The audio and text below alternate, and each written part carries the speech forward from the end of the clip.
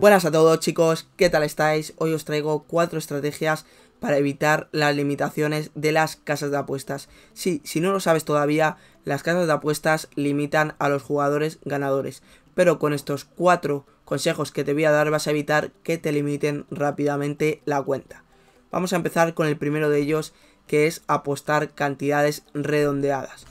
Seguramente cuando hayas empezado en las apuestas deportivas no creo que apostases con decimales. Lo más común en los apostadores novatos es apostar 30, 40, 50 euros y con esta estrategia vamos a evitar llamar la atención. Si por ejemplo apostamos 48 con 34 euros, las casas de apuestas pueden creer que estamos haciendo surebets o otro cualquier tipo de estrategia en el que respetemos el stake y el bank.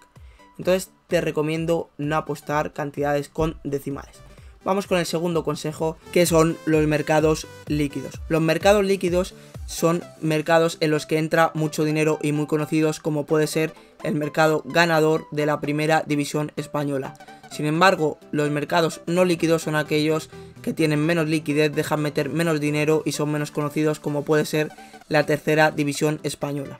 Respecto a los mercados a los que debes apostar para aumentar la duración de tus cuentas son los líquidos, aquellos con mayor liquidez y más concurridos por todo tipo de apostadores. Aunque ganar en estos mercados es muy complicado, hacer una combinación adecuada entre mercados líquidos y no líquidos permitirá aumentar la duración de tus cuentas. Una excesiva cantidad de mercados líquidos puede no ser rentable, así como una cantidad excesiva de no líquidos un suicidio para tus cuentas. Hay que saber combinarlo adecuadamente. Aparte de esto, otro consejo que te doy es no retirar grandes cantidades de dinero.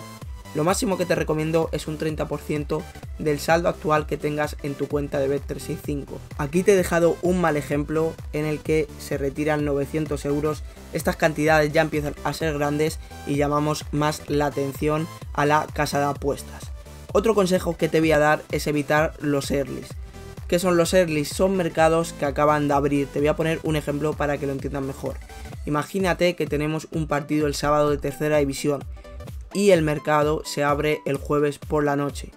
Si nosotros apostamos 500 euros el jueves por la noche cuando se ha abierto el mercado, es mucho más probable que nos limiten que si apostamos quedando 10 minutos para el encuentro.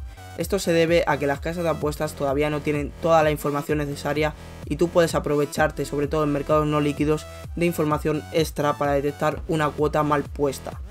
Entonces es mejor evitarlos ya que si hacemos estas prácticas puede que nos limiten rápidamente. ¿Y qué pasa si has visto este vídeo y ya estás limitado? Te preguntarás, me viene muy bien, pero ¿qué hago ahora? Pues te voy a dar un truco que he usado yo y que me ha servido en Bet365 para que me deslimiten la cuenta. Yo escribí un correo a Bet365 solicitando que revisen mi cuenta y que si no les iba a denunciar. Si les amenazas te van a deslimitar la cuenta en la mayoría de los casos. En mi caso me ha funcionado, sé de otros casos que también han funcionado y también sé de otros casos que no. Pero por intentarlo no perdemos nada. En la descripción del vídeo te voy a dejar un PDF con la plantilla del correo que debes escribirles para que te deslimite. Esta fue la respuesta que me dieron. Siguiendo una revisión del equipo directivo, las restricciones de su cuenta han sido eliminadas. Me eliminaron las restricciones y yo ya estoy apostando normalmente y aplicando estos consejos que os he dado hoy para evitar que me limiten de nuevo. Si te ha servido este vídeo, suscríbete a nuestro canal, dale like y si tienes cualquier duda sobre apuestas, únete a nuestro chat, zona apuestas chat os dejo el enlace en la descripción y cualquier duda que tengas te la responderé. Un saludo.